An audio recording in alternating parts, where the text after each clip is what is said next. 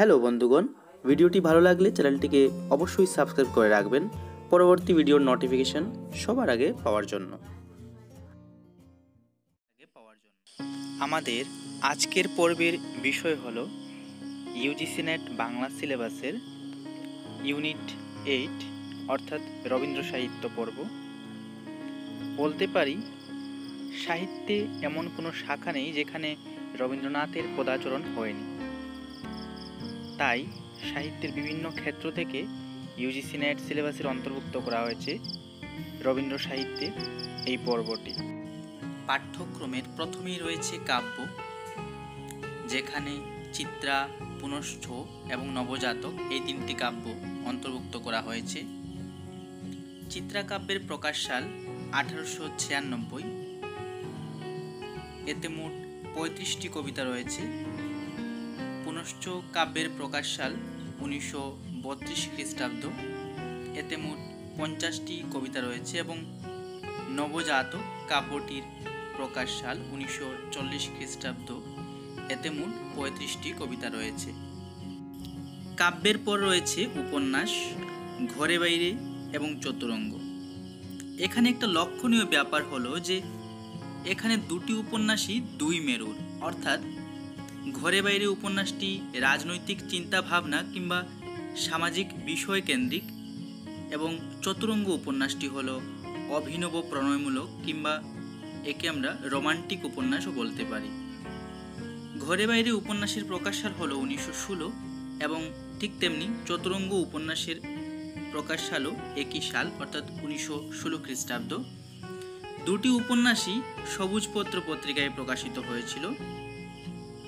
এবং ঘরে বাইরে উপন্যাসের পরিচ্ছেদ সংখ্যা রয়েছে আঠেরোটি এবং চতুরঙ্গ উপন্যাসের পরিচ্ছেদ সংখ্যা হলো চারটি।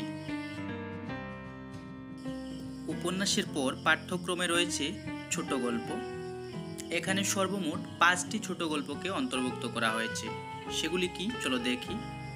প্রথমেই হলো নিশীতে, তারপর দুরাশা, স্ত্রীর পত্র হৈমন্তী এবং ল্যাবরেটরি। নিশীতে গল্পটি সাধনা পত্রিকায় প্রকাশিত হয় তেরোশো এক বঙ্গাব্দে। দুরাশা গল্পটি ভারতী পত্রিকায় তেরোশো পাঁচ। স্ত্রীর পত্র গল্পটি সবুজপত্র পত্রিকায় প্রকাশিত হয় তেরোশো একুশ বঙ্গাব্দে এবং হৈমন্তী সবুজপত্র জ্যৈষ্ঠ তেরোশো একুশ বঙ্গাব্দে। ল্যাবরেটরি গল্পটি আনন্দবাজার পত্রিকায় প্রকাশিত হয় তেরোশো সাতচল্লিশ বঙ্গাব্দে। পরে এই গল্পগুলি মূল গ্রন্থে অন্তর্ভুক্ত থাকলেও পরবর্তীকালে আমরা দেখি রবীন্দ্রনাথের বিভিন্ন গল্পগুচ্ছে অন্তর্ভুক্ত করা হয়। ছোট গল্পের পর আমরা পাই নাটক। এখানে সর্বমোট দুটি নাটককে অন্তর্ভুক্ত করা হয়েছে পাঠ্যক্রমের। প্রথমটি হলো অচলায়তন এবং দ্বিতীয়টি হলো মুক্তধারা নাটক। অচলায়তন উনিশশো বারো খ্রিস্টাব্দে প্রকাশিত হয় প্রবাসী পত্রিকায়। এই নাটকে সর্বমোট ছয়টি দৃশ্য রয়েছে।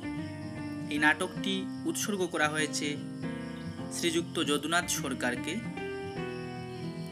এবং এই নাটকের মুখ্য বিষয় হচ্ছে যে এখানে অন্ধ্র শাস্তানুগত্যের যে ভ্রান্তি, ভুল ধারণা মানুষের মনের মধ্যে, সেটাকেই নাট্যকার নির্দেশ করেছেন। মুক্তধারা নাটকের প্রকাশ সাল উনিশশো বাইশ খ্রিস্টাব্দ। নাটকটি প্রবাসী পত্রিকায় প্রকাশিত হয়েছে। এবং এই নাটকের মূল বিষয় হল যে যন্ত্র সভ্যতা কীভাবে মানুষের উপর প্রভাব বিস্তার করছে।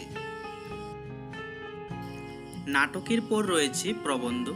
এখানে সর্বমোট সাতটি প্রবন্ধ গ্রন্থ থেকে এগারোটি প্রবন্ধ নেওয়া হয়েছে। চলো সেই প্রবন্ধগুলি কি? দেখে নেই। প্রথমেই হলো মেঘদূত প্রবন্ধ, যেটা প্রাচীন সাহিত্য নামক প্রবন্ধ গ্রন্থের অন্তর্গত। ছেলে বুলানু ছড়া এক, লোকসাহিত্য গ্রন্থের অন্তর্গত। বঙ্কিমচন্দ্র আধুনিক সাহিত্য নামক প্রবন্ধ গ্রন্থের অন্তর্গত। সাহিত্যের তাৎপর্য, সাহিত্য প্রবন্ধ গ্রন্থের অন্তর্গত। তথ্য, অসত্য, বাস্তব, সাহিত্য, আধুনিক কাব্য, এগুলি সাহিত্যের তাৎপর্য প্রবন্ধ গ্রন্থের অন্তর্গত। মনুষ্য ও নরনারী এই প্রবন্ধগুলি পঞ্চভূত নামক প্রবন্ধ গ্রন্থের অন্তর্গত এবং পল্লী প্রকৃতি এক প্রবন্ধটি পল্লী প্রকৃতি প্রবন্ধ গ্রন্থের অন্তর্গত। ভ্রমণ সাহিত্যের মধ্যে পড়ছে আমাদের এই জাপান যাত্রী গ্রন্থটি। তেরোশো তেইশ বঙ্গাব্দে কিংবা উনিশশো ষোলো খ্রিস্টাব্দে মে মাসে রবীন্দ্রনাথ ঠাকুর কলকাতা থেকে প্রথমবারের মতো তুষামারু জাহাজে করে জাপানে গিয়েছিলেন ভ্রমণ করতে এবং সেখান থেকে তিনি কয়েকটি চিঠি লিখেছিলেন নিজের আপনজনকে। সেই চিঠির সংখ্যা হলো পনেরোটি এবং সেই পনেরোটি চিঠিকেই কেন্দ্র করে যে সাহিত্য রচিত হয়েছে সেটা হচ্ছে জাপান যাত্রী এবং এই জাপান যাত্রী গ্রন্থটি তেরোশো ছাব্বিশ বঙ্গাব্দে কিংবা উনিশশো উনিশ খ্রিস্টাব্দে প্রকাশিত হয়েছিল গ্রন্থাকারে এবং এটি শ্রীযুক্ত রামানন্দ চট্টোপাধ্যায়কে উৎসর্গ করা হয়। ভ্রমণ সাহিত্যের পর আমরা পাই আত্মজীবনীমূলক গ্রন্থ, অর্থাৎ জীবন স্মৃতি গদ্য গ্রন্থ। এই গ্রন্থটি প্রবাসী পত্রিকায় ভাদ্র তেরোশো আঠারো থেকে শ্রাবণ তেরোশো উনিশ বঙ্গাব্দ অবধি প্রকাশিত হয়েছিল এবং তেরোশো উনিশ বঙ্গাব্দে কিংবা উনিশশো বারো খ্রিস্টাব্দে গ্রন্থাকারে প্রথম প্রকাশিত হয়।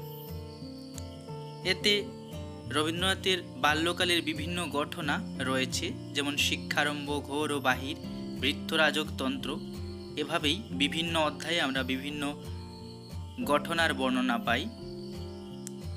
এ গ্রন্থের প্রথম